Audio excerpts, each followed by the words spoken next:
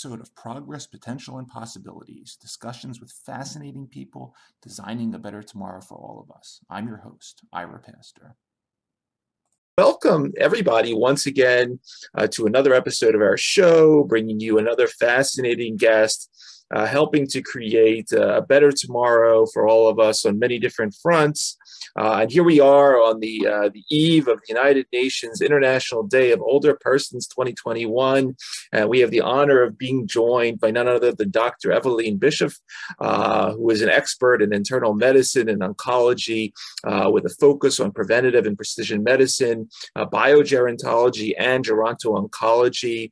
Uh, Dr. Bischof is, is deeply passionate about next generation medical technologies uh, and their application of tools such as artificial intelligence for biomedical research and practice.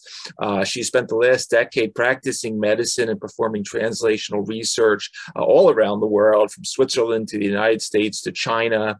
Uh, Dr. Bischof is a, a, medical doctor with her uh, MD degree from Max Planck Institute, uh, molecular biology and genetics. she interned at Columbia University, Harvard, and Beth Israel Medical Deaconess.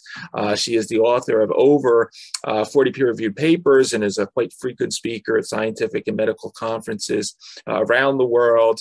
Uh, when she's not doing all of that, she uh, also has time to be assistant professor at Shanghai University of Medicine and Health Sciences. Uh, she's associate faculty Shanghai uh, University and a researcher at University Hospital in Basel.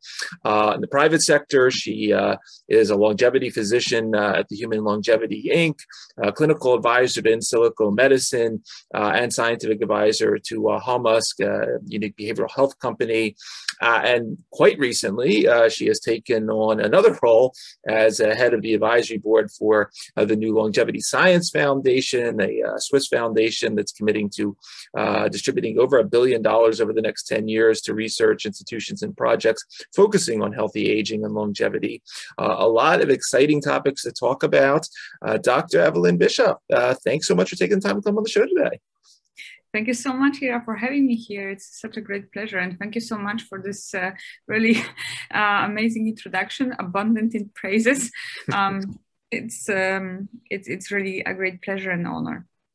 Well, you know, you have a lot going on. And, you know, I, would like to, as we typically do, start off just by handing you the floor for a little more of the background. Um, you know, watching you, you know, you are a, really a global physician. You're on the go, you're everywhere around the world at all times. Talk a little bit about the, your background, a little bit about where you grew up, when you got interested in medicine, when you got interested in aging and gerontology, and a little bit of your early career journey. I think that would be a, a great way to start things off. Sure, uh, with pleasure. So, uh, indeed, I have uh, had the chance to train in several continents, which uh, was definitely uh, something that gave me a lot of input and uh, a lot of experience and a lot of um, capability to understand different mentalities in different cultures and also different healthcare systems and also the needs, hopefully, also of different. Um, patients and then societies, populations, and so on. Also, recently I uh, I added an MPH to my title uh, from from the University of Liverpool, um, specializing in international health and global health. Uh, so um, that was um, that was definitely also very helpful to to understand what is going on specifically in the arena of uh, demographics and aging. So. But uh, on, on the boring side I, I, you know i grew up in germany. I studied there. I've um, i've um, completed my studies at the university of dresden. Uh, and um, as you mentioned my md was from max planck institute in that same city. And uh, at the same time, I was also working partially for the European Parliament at the time.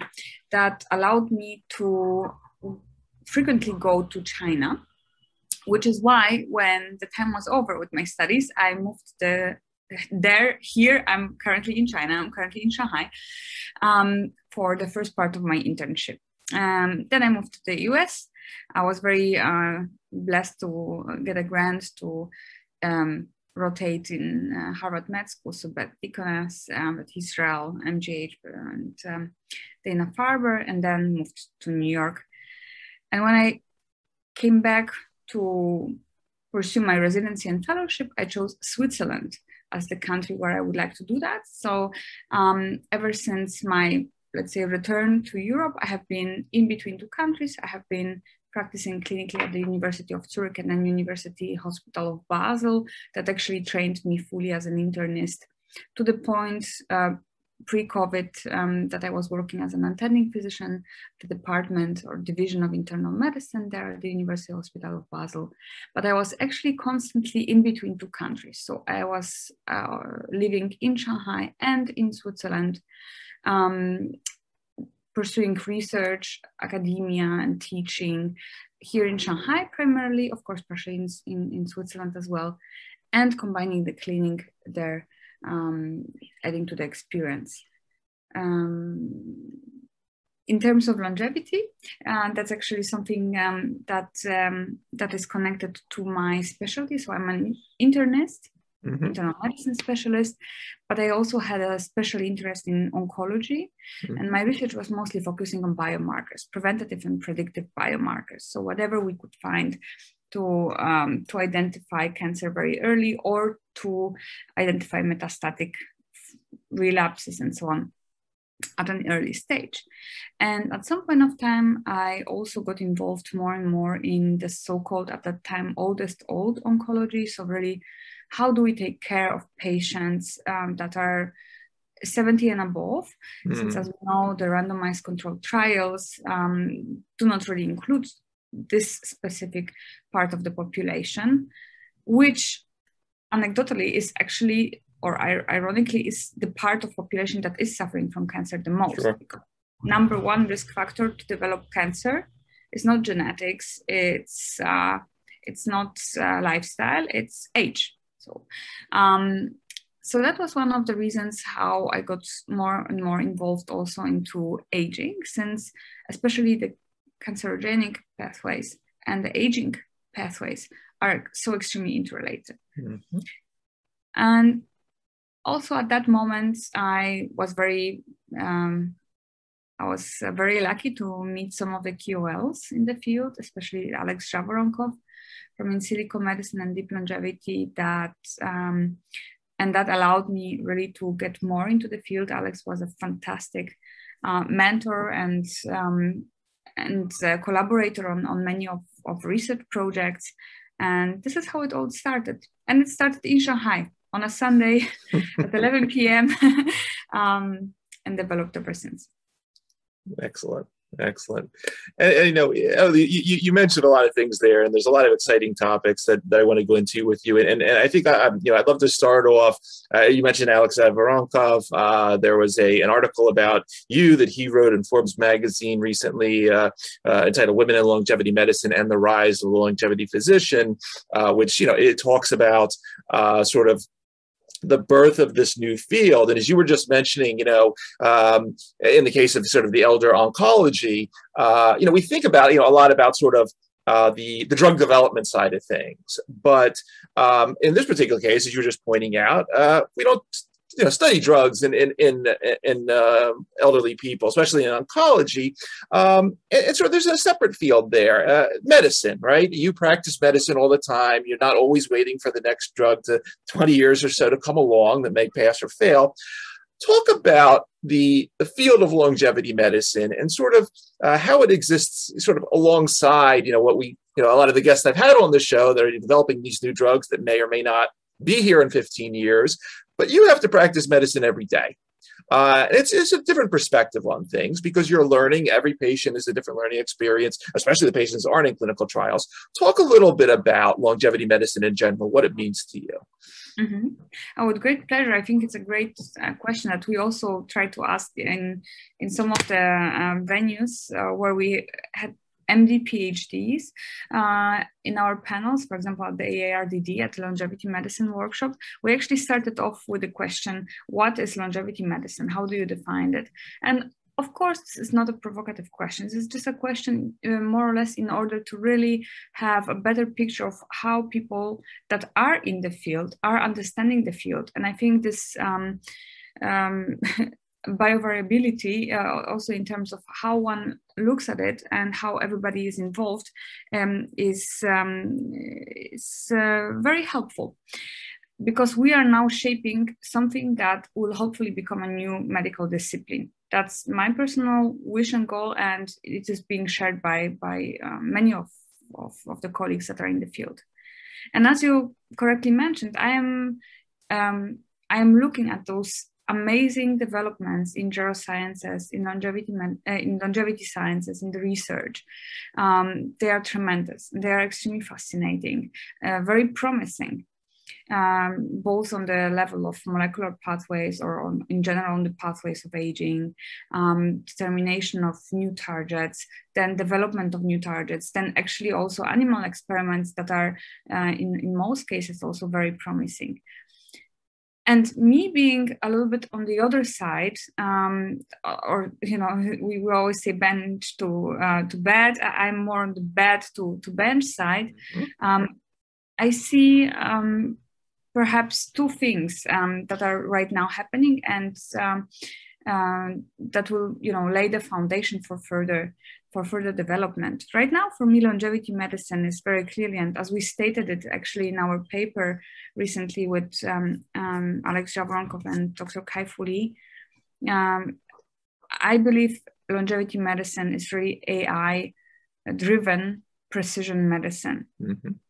That's that's longevity medicine for me. And I believe it's important to uh, really pinpoint that longevity medicine is a field that is in very inclusive of almost all other disciplines because all other um, arenas of, of medicine are important.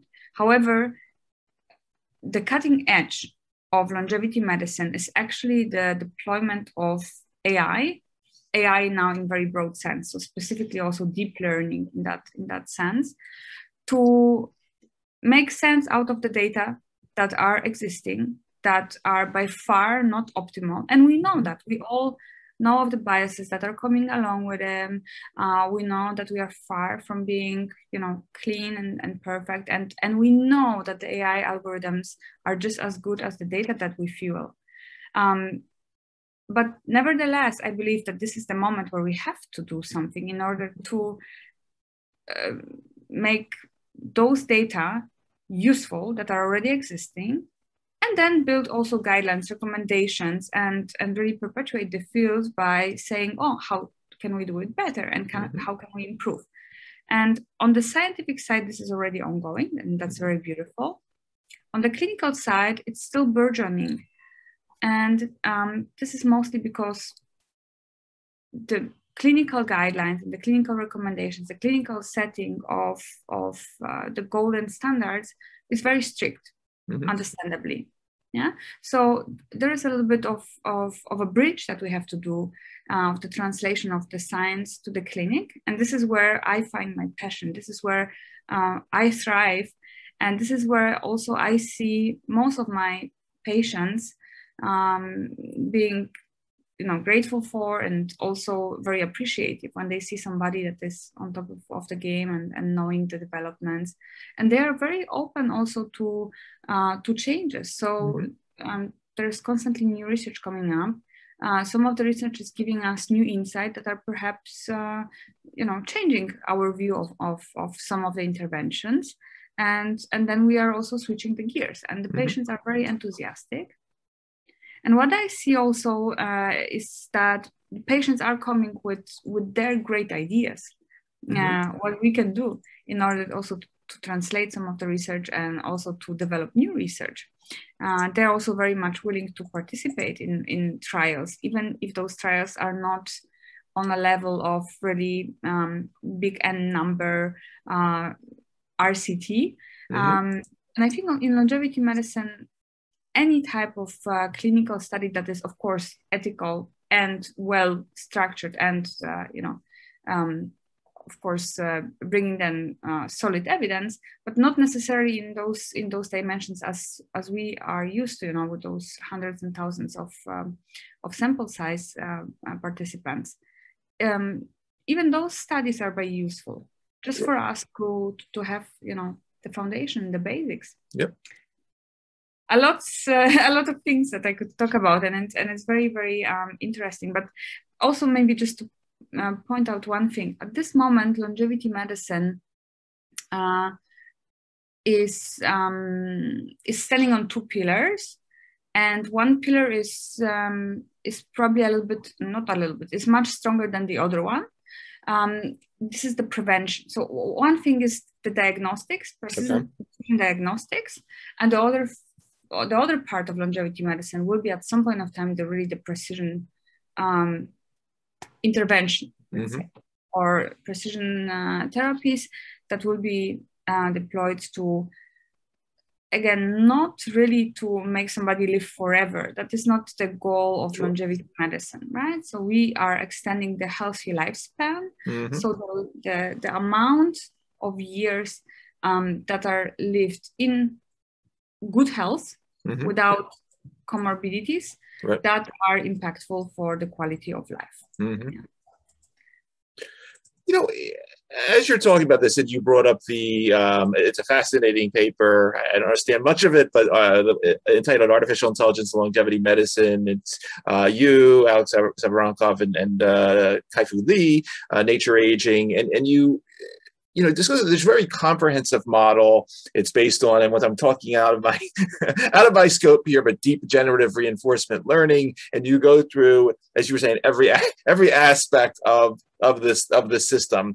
Um, I don't want you to I don't want you to explain the paper or go into a lecture. I'm sure you could lecture about this for hours. But um, you'd mentioned diagnostics and then um, sort of some you know some picking some sort of optimal treatment. Uh, talk to us about other things. What what else excites you in terms of the um, the basket of new tools coming from artificial intelligence per this fascinating model uh, for your particular practice? What, what other things are you excited about per the AI mm-hmm. uh, systems? Yes, so um, I, I, was definitely very fortunate to co-author this paper and uh, be in between uh, as, I, I, was as I was comparing, you know, being in between um, the the biggest stars of of AI um, it's like you know putting yourself between uh, I don't know uh, Ben Affleck and uh, and Angelina Jolie of of, of uh, you know of artificial intelligence, very very high level. So, um, but for myself, taking it you know now to the clinic and to the patient, uh, I'm definitely most really excited about the deep learning. So the method of um, as I explained it to, to, to myself very simply, of taking the data that are there, the longitudinal data that I would anyway be using in the clinic, but on a much, much lower level of my comprehension, understanding, and, and amount of, um, of, of identifying the right data from, from all it, uh, from all of those, and to put trajectories in order to identify what I want to identify. Mm-hmm. Uh, simply said, deep learning is giving me the option of using data that I have without me um, needing to select and filter data mm. that are potentially important or not. The, the system does it for me. Okay.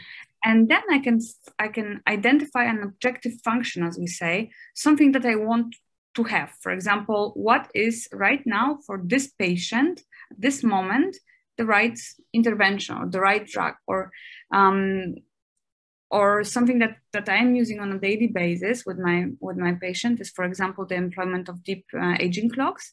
Um, there are different types of aging clocks, and and um, those that I am using the most are those that are um, giving me a, a good follow up and a good continuation uh, in, a, in, a, in a short terms. Mm-hmm. Uh, this is the biological uh, age clock based on blood markers, so the um, the so-called HEMO-age. So um, this is a great example of deep learning applied in the clinic already. Yeah?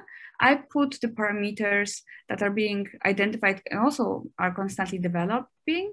And um, the algorithm is not only giving me the biological age of the patient, which is already a great thing. So I can track and I can see if, if we are moving towards the right direction. But on top of that, what is much more important, the algorithms are telling me what is the optimal biological age for this patient at this mm. time and which are the parameters that still have to be optimized to which uh, to which uh, value, mm-hmm. right? So, um, and those values are not uh, the same by far uh, as the ranges of, of the parameters that we are used to in the clinic. So our ranges are based on studies that were done decades ago, and uh, we are kind of, and of course, are based on the population mm-hmm, uh, mm-hmm. studies. Meanwhile, in those type of uh, AI deep learning apply, applicances of, of, of aging clocks, um, it's very not even personalized. It's it's, it's mm. almost individualized. Yeah. So this is uh, this is something that is fascinating, and I, and I guess um, another arena which um, which is very um, well developed, for example, in Human Longevity Inc., where I'm one of the um, yep. longevity concierge physicians. What is extremely fascinating um, is really uh, applying AI-based solutions uh, in um, early diagnostics or in okay. longevity diagnostics. And again, this is different to what we have been, you know, used to in the clinic, which which we, we already have very good screening settings. We have good uh, uh, early prevention uh, interventions in the clinic. We have even national programs and so on. Longevity medicine takes it to a whole different level mm-hmm. with the ultimate goal of identifying the specific individual risks of a patient mm-hmm. to develop some diseases at a later point of time. And optimally, we would be able to identify those diseases already at birth. Mm. And then not only to identify them, it's one thing to identify them, that the, patient then would ask, so what, right? So if I know I have this and that risk, great. So we, we might all say we, we are at risk of this and that, of diabetes, uh, cardiovascular disease, and so on. But this type of diagnostics should also help us not to not only to, to identify the risk, but then also to mitigate the risk. Mm. So we would find the right monitoring, the right protocol of, of early detection, precision diagnostics mm-hmm. to, um, to, to, to, if at all, find the disease or also to, to mitigate the disease. And uh, I think, and this is one of the pillars that I was talking about. So, so longevity medicine really stands on those two legs: the precision diagnostics mm-hmm. on, an, on an extremely top level, and then the therapeutics. Got it. And what is the also the really the competitive advantage of, of longevity medicine diagnostic is that um, you are constantly generating data and you are mm-hmm. constantly mm-hmm. learning. As the machine is learning, um, we are improving mm. and and and this is something that is really ongoing and um, we know that all disciplines of medicine are evolving and growing and we have to constantly learn but in longevity medicine it's not only us who is learning it's the ai that is learning with us mm. and much faster than us so um, you know this hand in hand of uh, human intelligence and artificial intelligence and also this extreme inclusion of all disciplines and at the end of the day also um, a very, very unique symbiosis of computational scientists and geroscientists mm-hmm. and clinicians, because we in, in other disciplines it is important and, and beneficial to communicate and to work sure. together. Here it's uh, mandatory. um, there is no way around it. Right. So um, that is something very unique and uh, very interesting and with a bright future. You know, um, as we um, now think a little bit more about the the drug developments. Obviously, there's a huge uh, potential. You know, you were you were with Insilico Medicine. There's a lot of uh, other companies doing AI and, and new drug discovery out there. But one of the very interesting topics we've done a few shows where where the theme has come up is is this principle of repurposing. Uh, you know that we have a millions of potential drugs out there that pharma companies and so forth have already created. Uh, let's retake a look at them with some of these new technologies. And I I bumped into um, actually a pretty recent paper of yours years. It was entitled uh, Rapid Identification of Druggable Targets and the Power of Phenotype Simulator for Effective Drug Repurposing. In this particular case, about COVID 19. But um, drug repurposing is also a very hot theme. Um, talk a little bit. I, I, know this is a rather new paper, but uh, and, and, we'll get to rapalogs in the next question because rapamycin usually pops up in some of these re- repurposing discussions. But talk a little bit about this paper, if you would, and, and what the phenotype simulator is. wow, you, uh, um, you you really did uh, great research in the background. I'm I'm very grateful. You know, also that you are bringing up this paper, which. Um, interestingly is not um, is not connected to longevity medicine research uh, arena that that I'm involved in, okay. but also related. Since okay.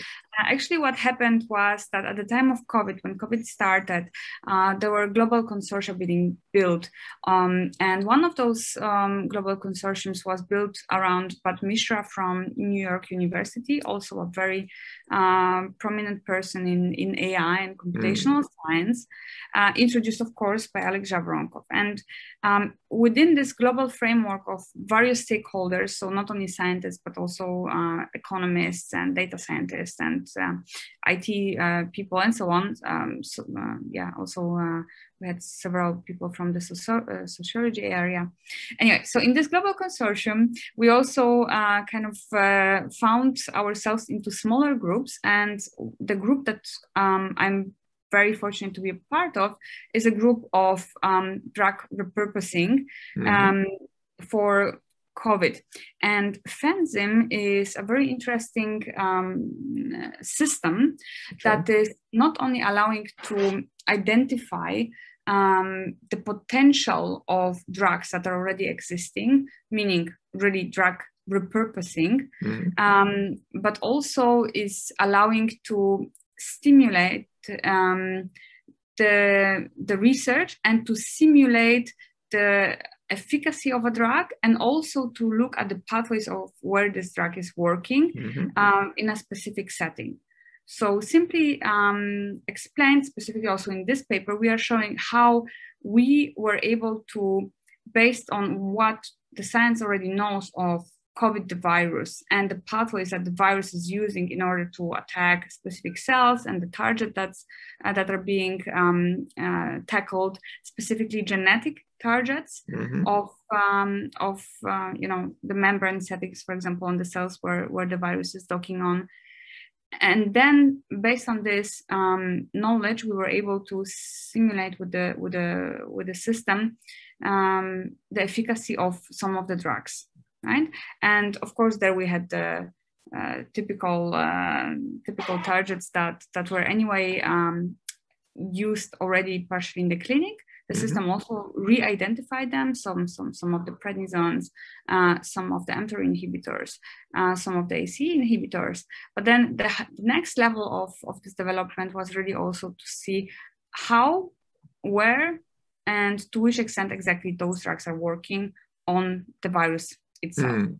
This is what the system is doing. And this is applicable for basically anything, right? Mm-hmm. So we did it for COVID, but uh, one can do it for basically any disease um, that is um, that is not necessarily communicable disease, meaning it doesn't always have to be a pathogen gene that we are looking at. Sure. Actually, the next the next step and the next level for us, or we are actually already working on it, is to look at diabetes mm. with the system, right? And and really to find some of the new targets and drug uh, drugs that can be repurposed in order to um, to uh, yeah to, to to tackle especially uh, diabetes. Mm. Yeah. And I, sort of leaning leaning that a little bit now into uh, aging. Um, you also have these two papers, one uh, where you focus the increased pace of aging and COVID-related mortality, and then obviously the potential of rapalogs to, to uh, increase human resilience uh, in SARS-CoV infection, reduce severity of COVID-19. Um, talk about a little bit about the sort of your insights and, and work. I, I, remember that was about several months ago during the, the height of the pandemic, but talk a little bit about your thoughts, your learnings on that, and then this principle of resilience uh, and, and, and maybe some of what you could be yeah, obviously resilience is a major component of, of the aging process and then keeping aging at bay. Talk a little bit about what you're learning in, in, in regard to this. Mm-hmm. Um, great question. Thank you for that question. So uh, those two papers were a great adventure and and um, of course a, a great uh, learning all along. So the number one paper was um, partially docking on a paper that uh, at the very beginning of the pandemics Alex published on mm geroprotective mechanisms uh, that should be applied and should be looked at um, in cases of uh, pandemics uh, like this.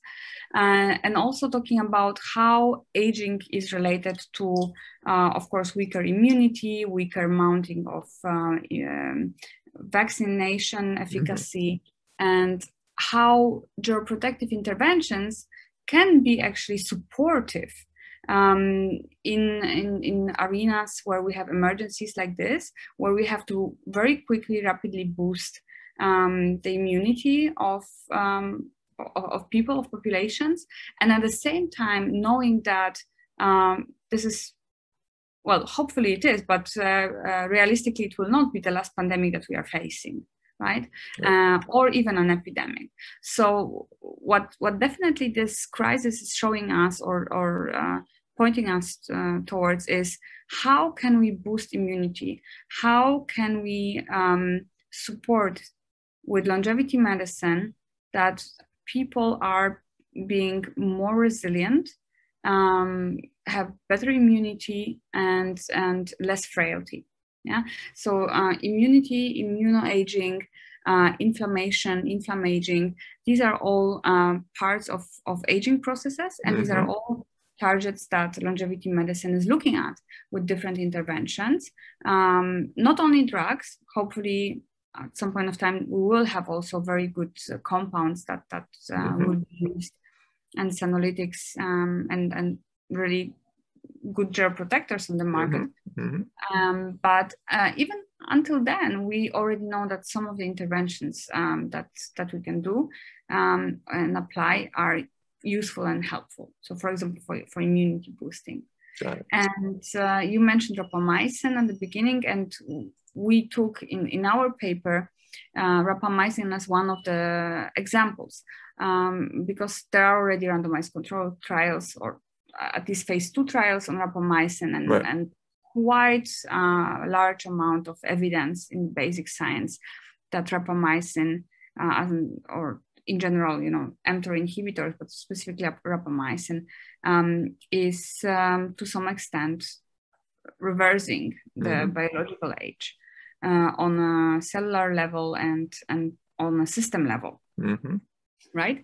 So um, having this type of um, having this type of uh, intervention can be helpful in order to number one make people more resilient as to not to get infected or if they are already infected in order not to develop a very severe disease and to uh, de- decrease the mortality. And or also what is very important to mount the um, the response to vaccination. So that's also mm-hmm. very important, right? If one is already uh, uh, with with a lower immune system or has an undergoing chronic inflammation, this is why, for example, autoimmune disease patients uh, had a lot of complications with vaccinations or were not responsive and so on, or the vaccination was not recommended for those. Um, th- so those interventions um, would be overall very beneficial for pandemics. Mm-hmm. And the second paper uh, is actually also quite partially relating to that. So we were um, fortunate to, to pair up um, with, with colleagues from New York. Um, and um, they had a data set that was um, that was uh, that was showing that um, uh, that was showing the development of, of, of the patients or the longitudinal data in, um, in terms of um, their um, you know, set of infection and up to mortality. And our question was actually very basic. Also to prove maybe what we were discussing in, in our other papers is how is actually the biological age uh, influencing the outcome mm-hmm. um, versus um, purely basing the, the treatment or the decision and so on on chronological age. And are those who are biologically uh, older than their chronological age mm-hmm. or biologically older than their optimal biological age mm-hmm. at a higher risk of complications and also exitus letalis, so mortality. Mm. And um, as we were, you know, looking at the data, we actually saw. So we definitely confirmed it, uh, and and and this was something that that was for us good to see. Is really biological age is an independent uh, risk factor for poorer outcomes um, in COVID. And we were also able, based on all those data and with the help of AI, to build algorithms that um, that were helpful to develop um, a score, mm. right? To develop a score for um, for the physicians, for the busy physicians at the emergency room, really to put several of the parameters and to calculate, of course, yet another, but also hopefully helpful risk score um, for those patients. Really really fascinating. It's uh, it's really amazing the, the breadth of uh, of of what you're involved here Evelyne. Um, I, I, want to ask you about one other thing before we get to um, uh, longevity science foundation and, and some other non-science topic related to the course i'm just because i'm so fascinated by all the work you do but uh, at the beginning when you uh, opened up a bit about the, your background. You know, you introduced us to uh, the the concept of the field of geronto-oncology, which you're a major thought leader in. Um, you know, c- connecting these, uh, you know, aging and tumorigenesis. And you mentioned that, um, you know, later in life, it, it's not about genetics anymore, right? We, we, we, may have a bunch of mutations uh, the first 60 or some odd years, but most likely these pathologic things that are happening in these elderly populations are not new mutations; they're other things.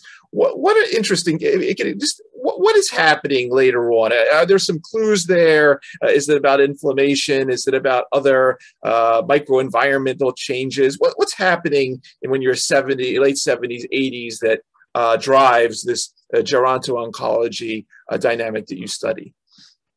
Oh, that's a that's a fascinating question, and it is scientific.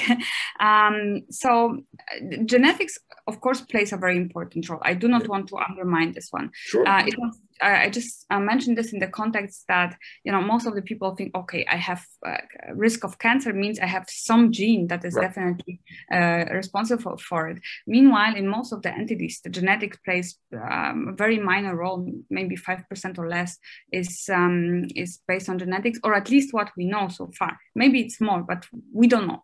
Uh, what we know is definitely that the age um, is a risk factor, and um, this is a multitude and a combination of uh, of changes in our body that are both biochemical and physiological, uh, as you mentioned, um, that are contributing to it. Um, and, and there's there's a variety. So number one is of course definitely the inflammation. So we, we are talking about the inflammaging, right? Mm-hmm. Um, where we have this chronic inflammation in the body going on on a cellular level and on a system level. Um, so that is one a major contributor. Another uh, major contributor is, of course, um, the immune system that is being mm-hmm. uh, devoluted, right? Um, so, and, and, this is mounting less resilience to, to many of the pathogens, which is then connected to the chronic inflammation mm-hmm and maybe some, some underlying infections. And any inflammation and infection is um, somewhat uh, cancerogenic, one might say. Sure. So we know that inflammation is, is very much related to cancer. Um, again, on the cellular level, so hypoxia, for example, in the cells and so on, uh, up to the point, and, and, mutations in the genes, up to the point that uh, it's on the system level. Um, what we also know, uh, and this is, this is, one of the most fascinating uh, areas that that I'm trying to follow, is really the, the the, the science around the stem cells and the stem cell niches and mm-hmm. how they age.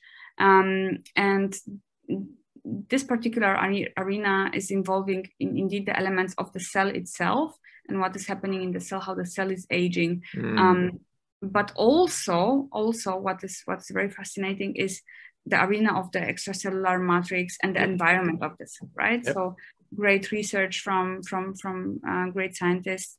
Um, Colin Edward at ETH, for example, is sure. really in his recent paper also very nicely uh, explaining how the extracellular matrix is um, participating in, in, those processes.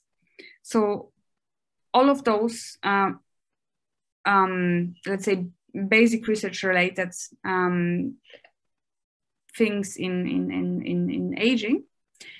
And then, of course, on a system level and clinically, what we say, so uh, what, what, we see. So um, I would also mention that um, the neurodegeneration plays a very important role. And um, longevity medicine is, is very much inclusive and very, very, um, uh, very much focused also on that development because um, there is the somatic health uh, that we might even develop um, much faster in longevity simply because we have quantifiable biomarkers, much mm. more there than in um, let's say psychiatry. I don't want to say psychiatry. It's it's mental health and sure. neurodegeneration. So the cerebral health, right? Sure. There, um, it's it's a lot of qualitative data. So it takes a little bit. Uh, it's it's much more challenging actually to uh, to first of all um, take this qualitative data, clean it, um, find ways to turn it into something quantitative so that the AI can then further make sense out of it and build trajectories for us and um, and where we then can ultimately find hopefully some of the uh, targets for interventions. Yeah. Very interesting. Really interesting. So um, switching to uh, business or the, the big news of the day uh, the, that was announced this morning, uh, at least New York time here, uh, Longevity Science Foundation. Um, I'm not the one to break it. I saw, saw it already, but uh, hopefully I get a little scoop here on the show. Uh, Swiss Foundation, billion dollars over 10 years. Uh, talk a little bit about what it's all about. Um, you know, if you, if you could talk about sort of who's funding it, uh, the structure, uh, what what the plans are. Obviously, it's a decade long initiative, but please uh, take the floor and and, and, give me some scoops. Uh, sure. So. Um, with pleasure. So I'm, I'm very, very much excited about this um, foundation, and I'm very happy that uh, the official news, not, not that I can talk about it, came before our interview. So Longevity Science Foundation um, is is a foundation that is aiming at fueling and really funding longevity related research mm-hmm. um, on a level that uh, is, uh, let's say, um, very much accessible to those who have innovative ideas. Basically, fueling research and giving the opportunity for those groups who have uh, fascinating and uh, breaking ideas, um, maybe also very let's say ideas that um, that would that are not fitting into the frame of, of, of academia only or are very brave yep. right so really we need a lot more innovation and a lot of uh, people with uh, you know like a like a healthy chutzpah like a really healthy healthy way of um, uh, of, of promoting the field and, and digging deeper into um, any of the basic research up to hopefully, and this is where, you know, where we in the visionary board also wanted to put a lot of um, uh, emphasis in to bring into the clinic. Mm. So um, in, in terms of the structure and the funding and the business, I am definitely not the, exactly the right person uh, to, to, to explain the backgrounds, but uh, I would refer to, to a recent interview in uh, longevity, I am sorry, in Lifespan uh, IO of mm. Garri Zmudze, who was actually um, the driving force together with his colleagues um, on, on, the structure and the funding. Um, but bottom line, um, there are many people, many philanthropists, many uh, passionates on longevity that are outside of the field, mm-hmm. and uh, also many people who are just so passionate about it and they do have the means and they do want to help, but they never had a platform or they they were not maybe aware so much of of where to to to, to put their funding in so that the research can be perpetuated and also maybe to have the trust that actually the money will be spent on research and there will be an outcome and there will be hopefully something that can be translated to the clinic mm-hmm. right so uh, so this is the goal of, of, of the foundation and uh, the visionary board that was created and that i'm extremely and deeply honored to lead um, has has a panel of experts that are, that are far beyond um, my competencies and they are really the KOLs in the field. Um, but the bottom line is that we will try to, of course, extremely objectively um, and diligently filter and um, adjust the means for research projects that are being applied for and to give them the funds and to, to give them any support that they need so that they can develop.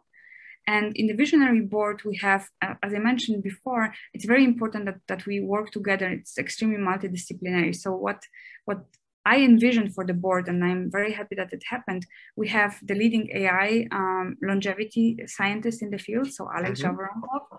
We have the leading geroscientists in the field. Uh, I mean, there, there, are many, and and and and, and I admire all of them. But one of the leading ones, and, and who is also a good friend, is uh, Dr. Professor Matt Kaeberlein. Mm-hmm. Um, so he um, has uh, joined the visionary board, and then we have um, Eric Verdin from the Buck Institute. I think sure. a personage that I do not even have to introduce. Uh, and um, and then also we have an MD, um, PhD, um, Andrea Maier from now from Singapore from the mm-hmm. NUS. Um, that is um, more on the that, that that was a clinician, but is now more on the research side in longevity field. And then last but not least, we have me. So like closing the chain, um, because I'm I'm mostly I'm 80 90 percent of my time and my my activity. I'm a clinician that uh, is is mostly not so visible because. Um, it's very hard to post selfies with the you know patients so most of my posts and how people uh, perceive me is uh, is from the research um, and the scientific um, perspective, but most of my time it, I'm in the clinic, I'm with the patient. So I think we are closing the chain uh, nicely, and hopefully this will allow us to um, to to really identify those projects that that will be uh, with a great perspective and will contribute to the field. And uh, yeah, Excellent. So that's um, that's the news of the day. Excellent. Very, very no, it's it's it's exciting news, and as I said, it's uh, tomorrow is the United Nations Day of uh, Older Persons, uh, 2021. So it's it's great you announced it uh, the day before. So that's that's exciting. Um, uh, what's uh, just uh, to, to, round things off here? I, I, I mean, you have a lot on your plate, but I, I I've seen a lot of news come. You'll be to some different conferences the next couple of months and so forth. What's what's your schedule like? Where, where are we going to see you presenting? Where can uh, we watch you over the Zoom at uh, some of these events? Uh, what's happening in early 2022 with Dr. Evelyne Bischof?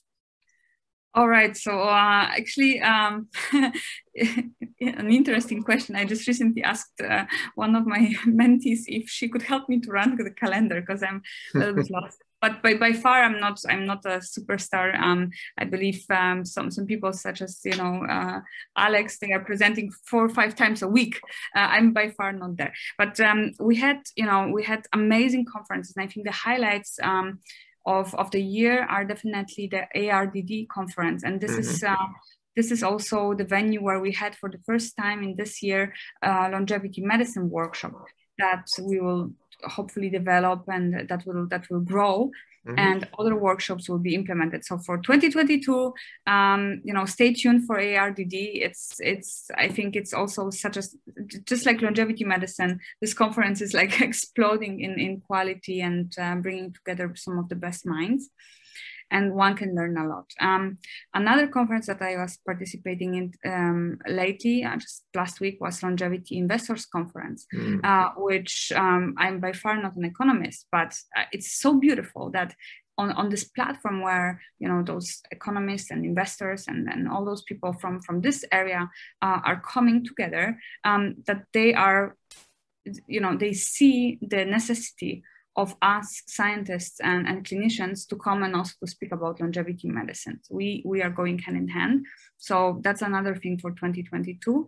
And uh, on the way, there, um, there are also other great conferences and uh, you will be seeing me soon um, at the Sino uh, European Summit in Berlin. Of course, hybrid. I'm, I'm still in Shanghai, where I will be talking on the 7th of October on um, data and how data uh, can transform the medicine.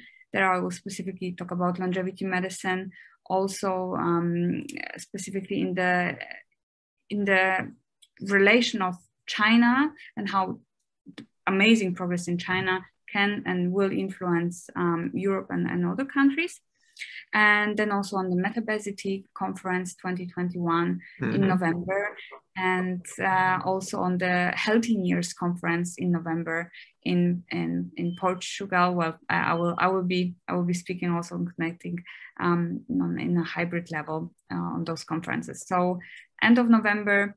Uh, you know, digitally, and the 7th of October digitally, and then um, many on-site conferences here in Shanghai. So whoever is here, whoever is listening and, and is around, um, please do join. We have um, partially amazing conferences that are starting now in uh, in, in in the area of uh, oncology. And as we mentioned at the beginning, oncology is something that I'm still extremely deeply passionate about. And uh, if I may also, uh, you know, give a little bit of a teaser, here in Shanghai, we are um, now creating uh, some of the first geroncological centers. So really mm. centers of excellence that um, are focusing specifically on the oldest old cancer patients uh, in terms of diagnostics and specifically therapies. And what we want to do is to really develop protocols and, um, and, and guidelines, and hopefully at the end of the day, really also guidelines that will be uh, approved by, by the carrying and decisive bodies on how to diagnose and how to, um, how to deploy which biomarkers to identify how those oldest old cancer patients, those extremely frail and vulnerable patients, uh, should be treated. You know mm. uh, how the protocols have to be adjusted that are deployed in younger patients. Uh, what are the therapies that will be safer and still yield the best outcomes, and who ultimately is the one to to to decide which treatment to take. Right? How do we balance the quality of life of the patient versus the wish of having an extended quantity of life. So is it the family? Is it the doctor? Is it the patient? Mm-hmm. Um, so all of those things will be discussed, and we'll uh, have a summit early um, early 2022 in January. Uh, that uh, you know I, I, will I will um, help to spread the news because we will do it in a hybrid way, also with global speakers, but also here on site in Shanghai. Outstanding, outstanding you're pretty busy. oh, it's a really, really fascinating journey, Evelyne. I mean, I just I wish you the best with all this, moving it forward. Uh, I know you do great at all. You clearly have uh, uh, amazing. Um, you know portfolio here uh, very successful portfolio and it's it's going to keep going so really really excited to watch it and um, for uh, for everybody that is going to be listening to uh, this particular episode uh, on our podcast or watching on the YouTube channel. Uh, you've been listening to Dr. Evelyne Bischof, uh, preventative precision longevity medicine specialist extraordinaire, biogerontological and geronto-oncological specialist extraordinaire. Um, longevity physician at Human Longevity Inc., clinical advisor at Insilico Medicine, scientific advisory at Holmusk, and most recently, chair of the visionary board of the Longevity Science Foundation. Keep an eye on her. Uh, Evelyne, I want to thank you for taking the time out of your schedule, getting up so early to come talk to us. Uh, thanks for everything you're doing there. And as we say on our show, thanks for helping to create a better tomorrow for all of us. Really very impressive story.